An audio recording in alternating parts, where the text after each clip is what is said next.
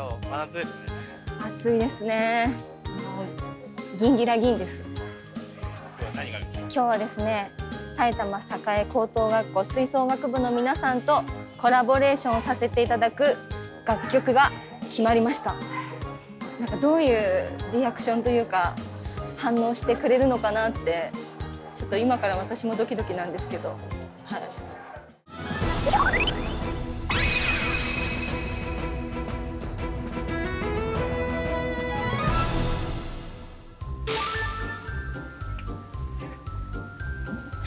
ドキドキするすごく。なんか足が心なしか震える。あすごい嬉しい。貼っていただいてます。ありがとうございます。失礼します。皆さんこんにちは。この埼玉栄高等学校吹奏楽部の皆さんとコラボレーションをさせていただく楽曲が決まりました。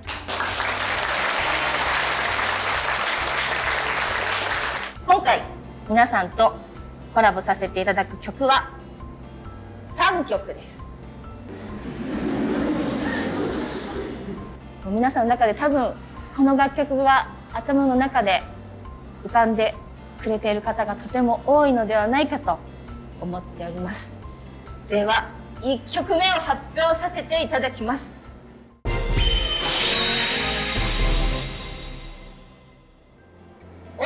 指さす君たちへ。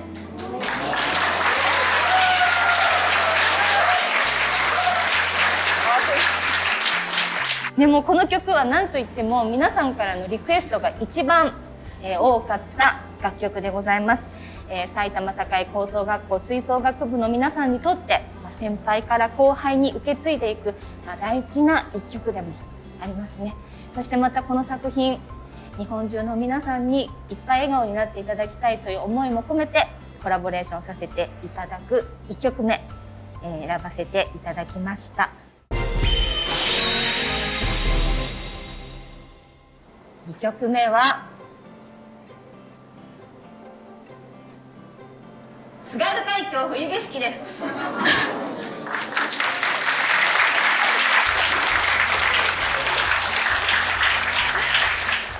であのまあ、前回集まってくださった皆さんにこうお聞きしたら演歌といえばこの歌この歌をみんな知ってるという意見も聞かせてもらって、えー演歌の、まあ、奥深さであったり松屋であったりそして日本人の心の機微というものを、えー聞いてくださる皆さんにそしてまた女心というものをちょっと吹奏楽部の男子の皆さんにも感じて聞いていただけたらと思っております。そして3曲目はメドレーです。おお。いい感じのリアクション皆さんありがとうございます。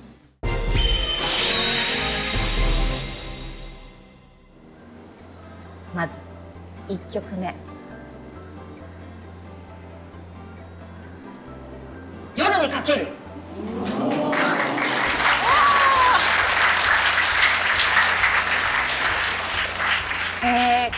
曲もすごい皆さんからアンケートの中でとても多かった楽曲です。そして2曲目は「うっせぇわ」です。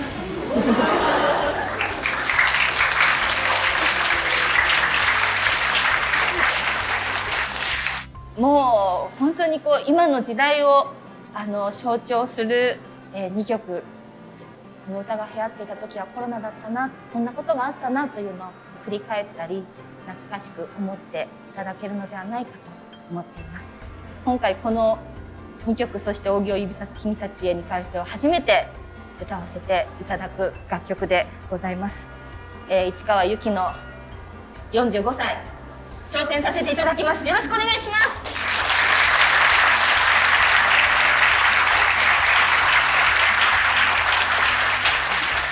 続きましては皆さんに演奏していただく場所を発表させていただきたいと思います。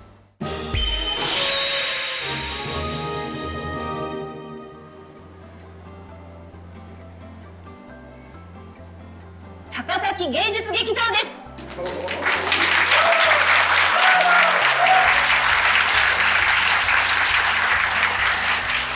皆さんがすごく気持ちよく演奏していただける場所がどこなのかなっていろいろなことを考えた結果高崎芸術劇場決まりました。皆さんどうぞよろしくお願いします。お願いします。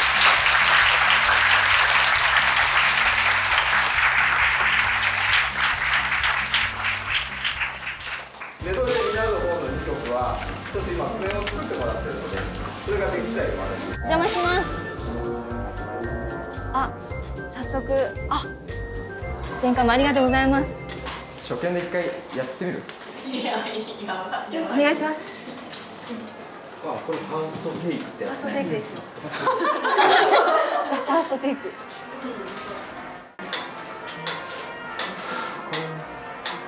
1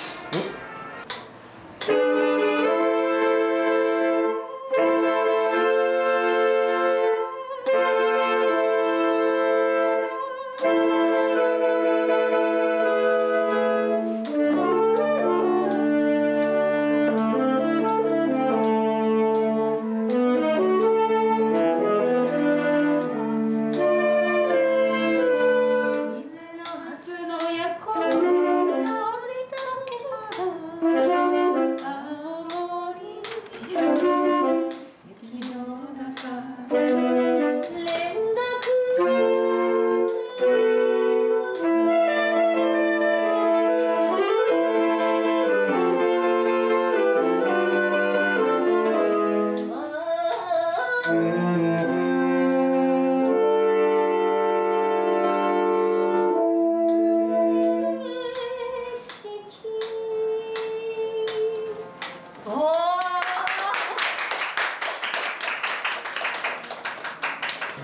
れ初見ですよね。すごい。聞いてみていかがでしたか？ハーモニーの音の重なりがそのポップスとか吹奏楽とはちょっと違うような音の重なりです。ごい面白い。響きの音がしたので結構これから完成して仕上げていくのがとても楽しみです。ありがとうございます。あすごい嬉しい意見もいっぱいどうでしたか今日初めて弾いてもらってサックスの音色は演歌にすごい合うと思うので、しっかりこれから練習していってしっかり吹きまくりたいと思います。ありがとうございます。吹きまくってください。お願いします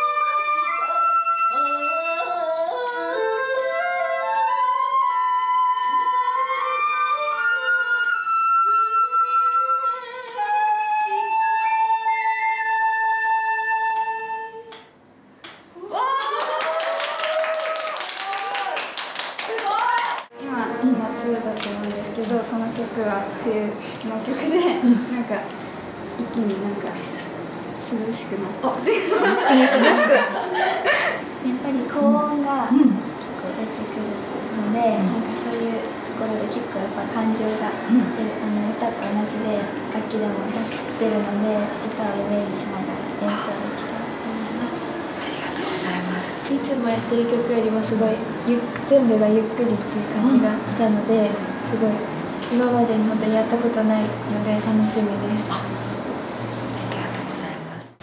んにちは。お邪魔します「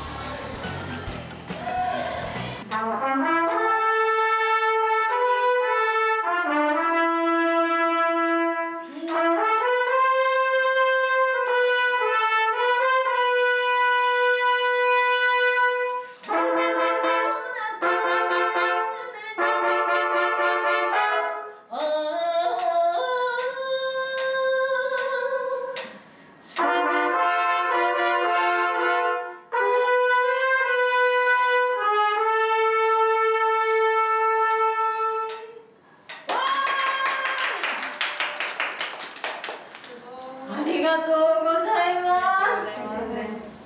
自分もまああんまり演歌は聞かないのであの早く進んでやってみたいなと思います。ありがとうございます。